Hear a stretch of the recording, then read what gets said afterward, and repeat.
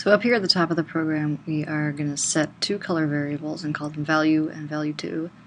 In the setup block, we set the size of the display window and we set the background to white. Inside the draw block, all we do is set a first fill value that we already specified up here and draw a square, and then we set another fill value that we specified up here and draw another square. That's all this will do. Um, but in case we click the mouse inside the display window, that triggers this function to run. And this function has a kind of a complicated if statement series nestled inside it. Um, so let's just run the program and I can uh, go through what this does. So the default is to plot these two squares with these colors. Now if I click the mouse inside the display window, um, this first if statement tests to see whether the cursor is inside the top square and if it is, it changes the color of the bottom square. That's actually what both of these two if statements take care of. So if I click in here, I'm toggling the color of the bottom square.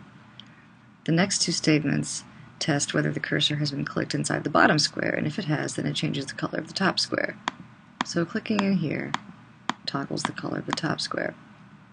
But what if I click the mouse some other place in the display window that's not in either of these two squares? If I click it out here, then the string that I wrote tells me that I did something unexpected.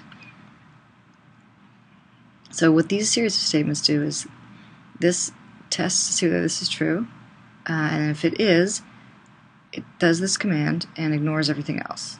It, but if it's not true, it sees this else if statement and it looks to see if this one is true. And if it is, it executes this command and ignores everything else.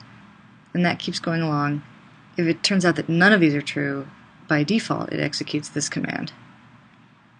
So writing an else statement at the bottom of a series of ifs and else ifs is kind of a good failsafe procedure because it can alert you that something has happened inside your function that you didn't cover with all your other possibilities.